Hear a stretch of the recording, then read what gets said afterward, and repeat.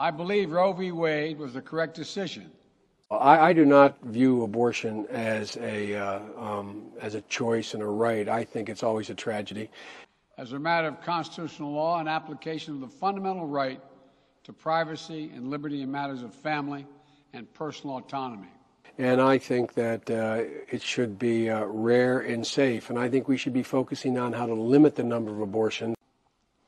It was a decision on a complex matter that drew a careful balance between a woman's right to choose earlier in her pregnancy and the state's ability to regulate later in her pregnancy.